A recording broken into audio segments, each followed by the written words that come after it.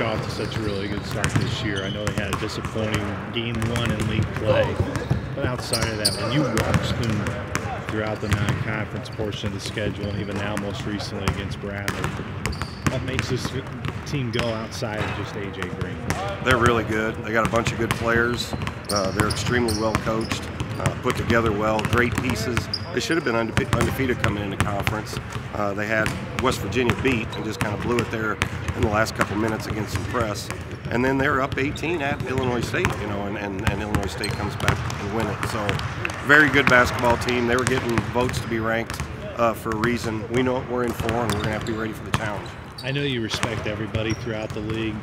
I think there's something just special about when you know you go up against Coach Jacobson, and think he's the only other longer tenure guy than you in the league right now. Just the relationship you've been able to build with him and, and, that respect factor both of you guys have been able to build when you guys play. Sure, you both want to win, but there's also just a lot of respect back yeah. You know, he went to University of North Dakota. I went to University of South Dakota, so we're conference rivals way back from the start. He's he's been uh, fortunate to be with great coaches, just like I've been fortunate to, to be with great coaches. Coaches that do it the right way, coaches that are good people, hire good staffs, and recruit great kids. So uh, he and I have become real good friends just like uh, the rest of the guys on his staff. We respect the hell out of them, but we also want to beat each other. You know, we he's a competitive guy. I'm a com competitive guy. We know that they're going to be ready for us. We're going to have to be ready for them to have a chance to win. You didn't like the start your group got off to against Drake, and you also thought the execution down the stretch in some crunch time situations could have been better. How much of an emphasis has that been in these two days that you've had to focus on getting off to a better start, and then when you get tired towards the end of the game, showing your guys these are where maybe a few things could have flipped the result against well, the first half we just didn't play hard enough on defense. You know, you have to be ready uh, as soon as the tip comes up. We were in the game against Southern. We did not come out uh, ready to go defensively against Drake. We played our tails off in the second half, fought like crazy uh, on both ends of the floor. We had good possessions and stuff at the end.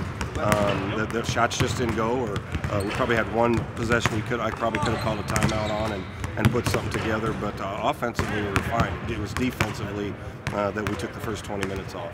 Jake, of course, gets honored with the Missouri Valley Conference Newcomer of the Week today. I know those weekly awards too much attention maybe sometimes gets put on it, but just the importance of knowing that Jake and you know Coach DeVries talked very highly of not just Jake but also Trey after the game. Coach Jacobson did as well in his press conference earlier today. Just the fact that those guys are continuing to get that respect, but also internally here in the gym, you can still see them with that chip on the shoulder. Well, I was I was giving the the Valley administration a little grief there. We you know we've had Jordan Barnes, Tyreke Key, Cooper at Wright State. We've had some guys uh, have some really good uh, performances in wins with us, and that was the first time we'd been um, noticed for, for, doing that. And Jake deserved it. He's going to get a bunch more of those uh, in his career. Uh, we're happy for him, but uh, the biggest thing is, you know, your team winning. Defensively, I know that's where you continue to focus with your group, but knowing Trey and Jake have become two critical pieces down low, you, of course, knew what you would really have in your guard play heading into the year. Where do you think your offense is right now in the grand scheme of where you ultimately want it to be? Uh, getting better, getting better, and give a lot of credit to JB for his leadership and uh, distributing, getting us organized, being a pass-first guy.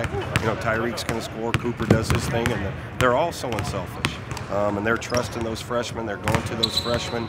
They're still getting more comfortable on a day-in and day-out basis and more comfortable playing with each other. So as long as we keep working, you know, I think we'll be difficult to guard.